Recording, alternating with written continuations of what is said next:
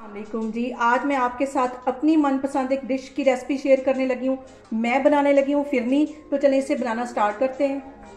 फिरनी बनाने के लिए यहाँ पे मैंने तीन टेबल स्पून के करीब चावल ले लिए थे और इन्हें तकरीबन आधा घंटा पहले भिगो लिया था और ये फूलने के बाद काफ़ी ज़्यादा हो गए। अब इनमें मैं तकरीबन आधी प्याली के करीब दूध डाल के तो इसको अच्छी तरह ग्राइंड कर लेती हूँ और इसको दरदरा सा पीसना है, ज़्यादा बारीक भी नहीं पीसना और ज़्यादा इसके मोटे मोटे दाने भी ना हो। तो फिर मैं आपको दिखाती हूँ। यहाँ पे मैं तीन से चार ये सब्ज़ इलायचियाँ डाल दूँगी और ये ड्रेन करके चावल इसमें डाल दूँगी। चावलों में से मैंने पानी ड्रेन कर लिया ये इसमें डाल दूँगी। के साथ ही तीन से चार टेबल स्पून के करीब मैं दूध डाल दूँगी और इसको अच्छी तरह पीस लेना अब एक पैन में मैं एक किलो के करीब दूध डाल दूँगी।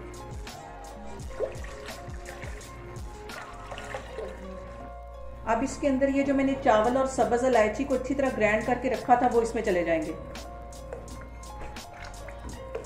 और इसको बिल्कुल मैंने पाउडर नहीं बनाया हल्के हल्के इसमें दाने दाने से हैं, वो पीसा। और सब्ज इलायची अगर हम इस तरह पीसेंगे तो वो आराम से पीस जाएगी, खाली पीसेंगे तो वो इतनी अच्छे से पाउडर उसका नहीं बनता।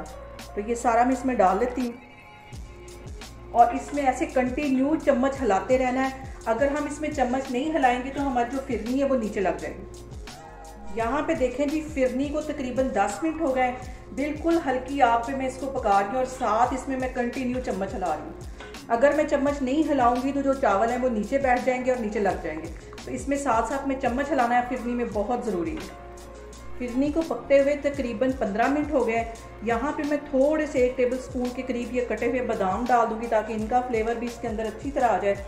और इसको मज़ीद मैं तकरीबन 15 से 20 मिनट के लिए ऐसे ही पका रही हूँ। इसके अंदर मैं एक टेबल स्पून के करीब ये देसी घी डाल दूँगी। देसी घी इसमें एक टेबल स्पून डालने से इसमें बहुत अच्छा एक फ्लेवर आएगा, एक रिचनेस आएगी और इससे इसका टेस्ट बिल्कुल मुख्तलिफ़ हो जाएगा। इसको भी अच्छी तरह मिक्स कर लेती हूँ। अभी मैंने इसके अंदर चीनी नहीं डाली।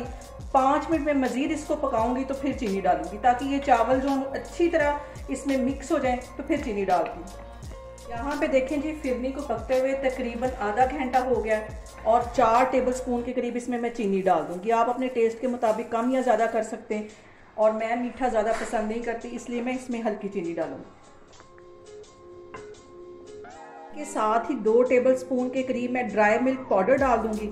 इससे इसका फ्लेवर बिल्कुल ऐसे आएगा जैसे मैंने अंदर खोया डाला होता है। इसको भी अच्छी तरह मिक्स कर लेना है। और अब यहाँ पे इसको सिर्फ़ पाँच मिनट के लिए पकाना है तो फिर मैं आपको दिखाती हूँ। यहाँ पे मैं एक टेबल स्पून के करीब ये नारियल का बरादा डाल दूँगी। इससे भी इसका फ्लेवर बहुत अच्छा आता है। इसको अच्छी तरह मिक्स कर लेती हूँ। चूल्हा यहाँ पे मैं बंद कर लेती हूँ। तो ये ठंडी होने के बाद मज़ीद गाढ़ी हो जाएगी। मैं यहाँ पे मिट्टी के प्यालों में फिरनी डालने लगी और मिट्टी के बर्तन देख के वैसे ही बचपन की यादें ताज़ा हो जाती हैं।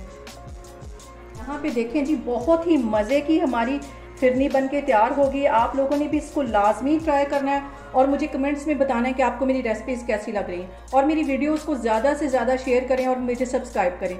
इन ताला मैं एक और वीडियो के साथ आपके सामने आऊँगी। अल्लाह हाफिज़।